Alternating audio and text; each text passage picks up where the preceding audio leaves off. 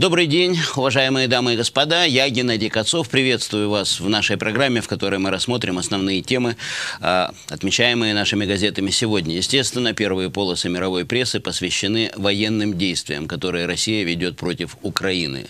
Россия ведет войну в Украине, в соседней стране. После начала ракетных ударов по украинским объектам российская Минобороны сообщила, что не собирается, оказывается, атаковать города Украины или гражданское население, что сейчас и происходит. И города атакуются, и гражданское население. Совершенно невероятно, невозможно верить ни заявлениям российского руководства, ни заявлениям Министерства обороны в частности. В четверг прошла виртуальная встреча лидеров Большой Семерки, созванная, как сообщили в Белом доме, чтобы обсудить жесткие меры ведущих западных держав в ответ на военное нападение России на Украину. Президент Джо Байден обратился к американскому народу в связи с продолжающимся крупномасштабным вторжением российских войск в Украину. В Вашингтонском городе Сиэтл уже другие темы. Увеличилось количество жалоб на граффити. И в Вирджинии письмо в бутылке, которое местный житель бросил в реку 40 лет назад, вернулось к отправителю. Ну, как вы видите, в основном наша программа сегодня посвящена событиям в Украине. Дамы и господа, эти эти темы мы и рассмотрим в нашей сегодняшней программе. Первые полосы мировой прессы посвящены военным действиям, которые Россия ведет против Украины.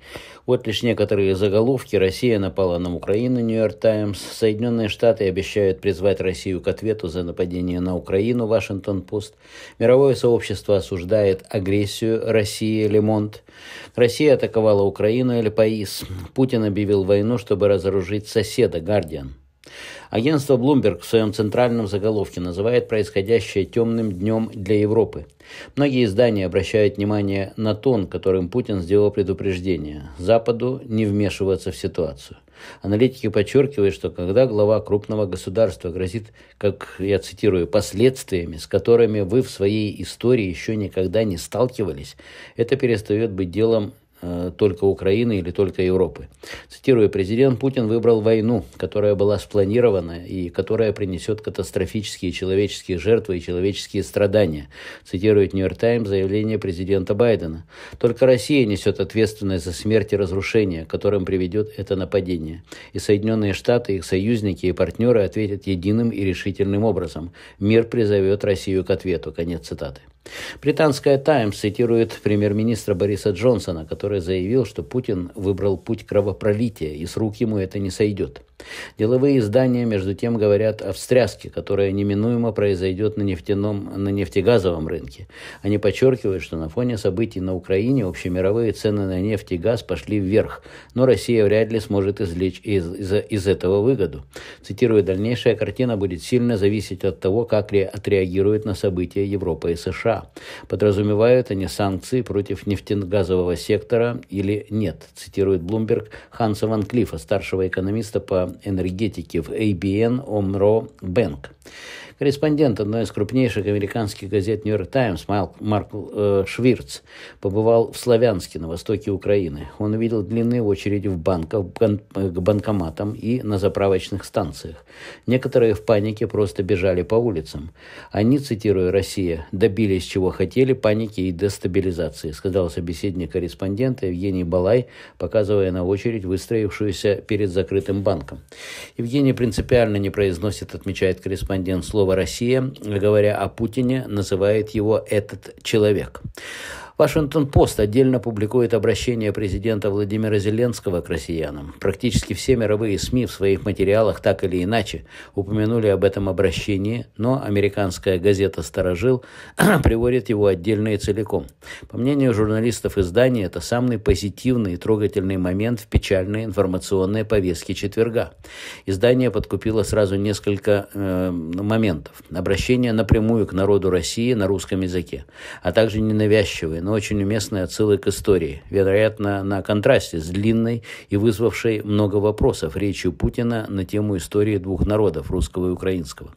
В частности, Зеленский попросил россиян вспомнить, что украинский народ отдал борьбе с фашизмом 8 миллионов жизней, и задаться после этого вопросом, может ли нация после этого поддерживать идеологию, в которой ее обвиняет Кремль, то есть в нацизме. Это началось, цитирую, в темные предрассветные часы, примерно в половине 5 по местному времени. Так начинает свою публикацию британская «Гардиан». Цель Путина, пишет издание, подчинение нации и ее культуры. Казалось бы, о таком невозможно даже помыслить в 21 веке, и тем не менее вся чванливая имперская мощь, армия, пехота и авиация приведены в движение. К пяти утра перед киевлянами и жителями других городов стоял вопрос, бежать или остаться. Некоторые запаковались заранее и начали покидать город, другие стали спускаться в подвалы зданий. Мариуполь, Харьков, Одесса, Херсон, множество сел и городов поменьше по всей Украине, во все эти места пришла война. Их захватывали и бомбили. На фоне этого ужаса особенно радовали редкие зарисовки мирной жизни. Хозяева собак выводили своих питомцев на утреннюю прогулку, а кафе «Арома Кафе» в Киеве, в отличие от всех остальных, открылось и продавало свежие круассаны. Простые обитатели, обыватели, полицейские, военные, студенты, мужчины и женщины сказали, что готовы остаться в городе и защищать его. Минобороны России утверждает, что не наносит удары по городам. Однако украинские СМИ публиковали фото поврежденных домов и сообщали о гибели мирных жителей, в том числе детей. Кроме того, по данным украинских властей, в селе Липецкое в Одесской области 22, 11 мужчин и 11 женщин погибли в результате ракетного удара по воинской части. Администрация Мариуполя сообщила об обстреле одного из микрорайонов. Вечером представитель российского ведомства Игорь Коношенков назвал новые цифры. Были атакованы 83 наземных объекта военной инфраструктуры, сбиты два Су-27, два Су-24, один вертолет и четыре беспилотника «Байрактар». МВД Украины сообщила днем, что Россия совершила 203 атаки. 203. Все поставленные перед группировками войск на день задачи выполнены успешно. В частности, обеспечен выход Херсону, так отрапортовал генерал Коношенков. Зеленский говорил о напряженных боях в пригороде Херсона. По версии Москвы, вооруженным формированием ДНР и ЛНР при огневой поддержке российской артиллерии и, америка... и армейской авиации удалось прорвать оборону вооруженных сил Украины и продвинуться на 6, а то и 8 километров в глубину. Стороны сообщали о боях в городе Счастье и станице Луганская, но по-разному оценивали их исход. Продолжается проведение специальной военной операции, сказал вечером Коношенков. Именно так нападение на Украину назвал Путин в телеобращении, которое вышло в эфир в четверг в 6 утра. Сам Путин вечером объяснял свое решение крупному бизнесу, с которым он проводил встречу. Он назвал то, что происходит, вынужденной мерой и попросил отнестись с пониманием. Российский президент при этом считает, что Россия остается частью мировой экономики. Его слова прозвучали на фоне беспрецедентного обвала российского рынка. Днем акции российских компаний рухнули на 45%. До сих пор рекордное падение, минус 20%, было зафиксировано в 1997 году. По итогам торгового дня рублевый индекс Мосбиржи упал на 33,28%, а долларовый РТС на 39,44%. После этого было принято решение отменить в пятницу утренние торговые сессии на фондовом и срочных рынках Мосбиржи.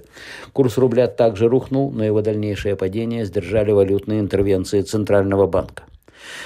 После начала ракетных ударов по украинским объектам российская Минобороны сообщила, что не собирается атаковать города Украины или гражданское население. Это при том, что в ряд украинских городов, вроде Херсона, российские войска вошли еще вчера днем – Высокоточными, цитирую, средствами поражения выводятся из строя военная инфраструктура, объекты противовоздушной обороны, военные аэродромы и авиация вооруженных сил Украины, сообщили СМИ, СМИ со ссылкой на министерство.